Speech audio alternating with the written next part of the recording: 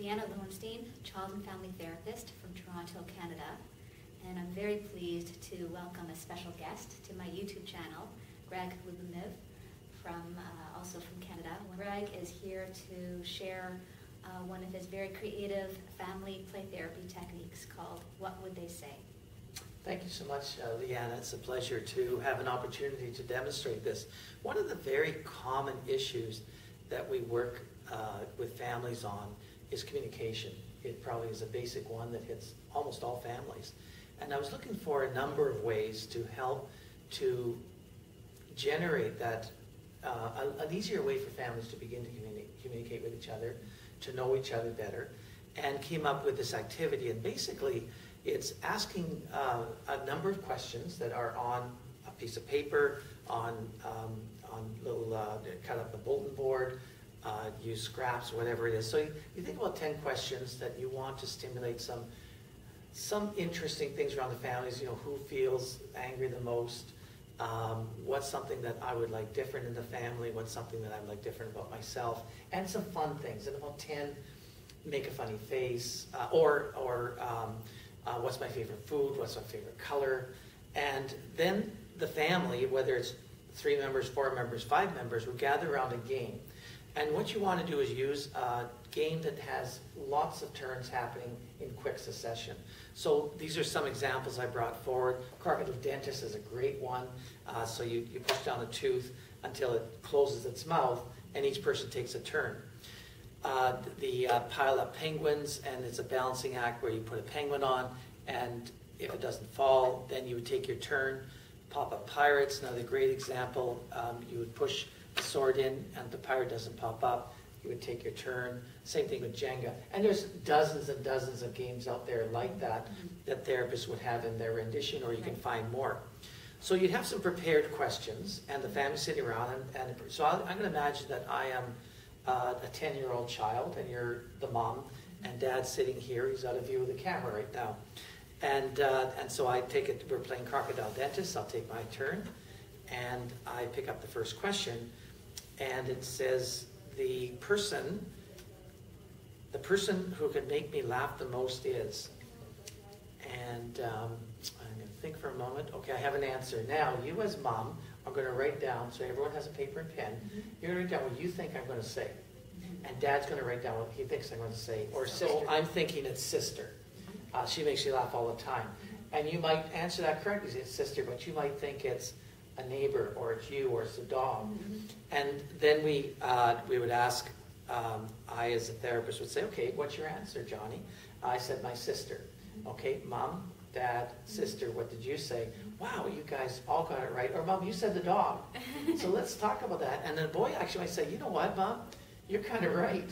The dog actually makes me laugh, laugh the most. So the next person goes. So mom goes. Okay, my turn now. Ah.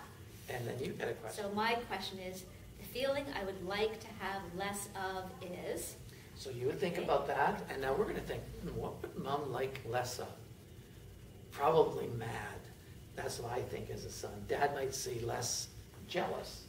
Uh, daughter might say less um, nervous. Okay, and you might say something totally different.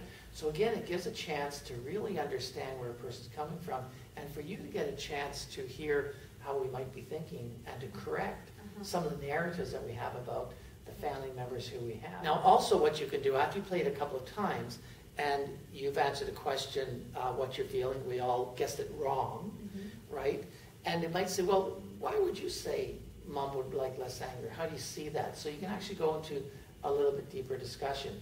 I wouldn't do that the first couple of times mm-hmm. I use the game. You want to keep it nice and safe and comfortable. Mm-hmm. And that's why some of the questions are my favorite food is, right. my favorite color is. Right. A little bit easier, softer to get at.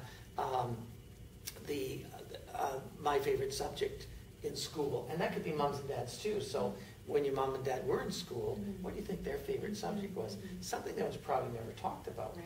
But you actually get a chance to share, and perhaps you say something like English, and they say, hey, that's mine too, mom. I also like English. Mm-hmm. Or you might ask him, what was your least favorite? Mm-hmm. Math. Oh, I hate math too. Mm-hmm. And now we have something in common. So it's a nice way to really get that communication going One of the things about playing the game is resistance goes down when you're doing that. The fun element goes up, and you're you're already into a relationship. As soon as you're playing a game, you're interacting and you're relating to others. And not only that, but you're learning about each other and sharing information in a safe way. So at the end of the game, uh, how might you process this with the family? As- a therapist, as the family therapist, how might you process it? There's a end? wide range of ways to do that. In the beginning, I wouldn't process it a lot. We, we just had some fun, we learned a little bit about each other, and now let's go on to talking about whatever the issue was that they want to address. And come back to it, play it a couple of times, and dig a little deeper. Mhm.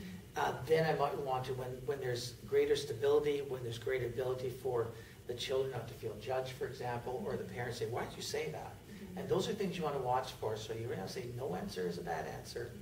Every answer is a good answer, and there's no judging of answers to say, that's not a good, you know, you shouldn't have said that. Mhm. Uh, or you should say this instead. So these are rules you want to set in the front end Mhm. and reinforce with the softer questions. When they're getting it, then they're going to go a little deeper and process more and more as we would have that orientation with the family. Again, they're feeling, especially the children, feeling a little bit safer. And there's a more predictable response that mom and dad are going to, uh, what I want to get them to, and my, my mind and say, that was a great answer. And that was a great answer too. Mhm. And now there's a great conversation. So you know something. Did you know that? Did you know that? Did you know that?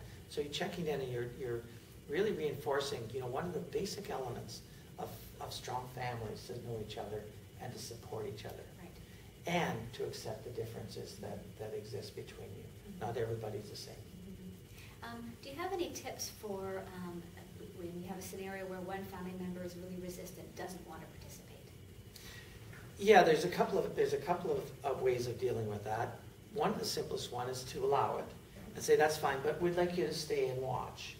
And what I would try and do is engage that child in a, in a, in a more backdoor approach.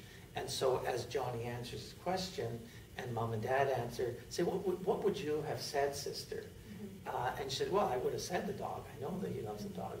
That, that's who makes him laugh the most. I say, wow, you know, that's, uh, that's great. So you know that. That's good. Did you want to play the next round? And maybe she does. Mhm. Sometimes kids need to see it a first time. Mhm. And it takes them some time to warm up or to come in. Then they're checking out myself. They're checking out how things are going to work with the family. Mhm. They're watching the game. And I also want to make the game fun. Right. That's the other thing. So, so you want to make it enticing. So I'm going to say, okay, your turn. Next. Say, okay, it's my turn. Hmm. Which one am I going to do? Which one am I going to? Ah, got it. Yeah. And then Johnny gets his. Oh, Johnny, give me five. Shh. Okay, no problem. Let's start over. Okay, go again, Johnny. Oh, look at that. Give me five. Right. Go again, Johnny. Okay. So. Right on, look at that. Okay, big pop for Johnny. Okay, now here's your here's your car. So you really want to create some life and energy, and that's what's going to draw people into wanting to Right, engage. Right. Well, it's such a wonderful, um, playful, engaging technique that really, I think, helps families communicate um, and gain insight into each other. Uh, so it's just a, a wonderful family play therapy technique very much. And thank you, Greg. Oh, you're very for welcome. sharing this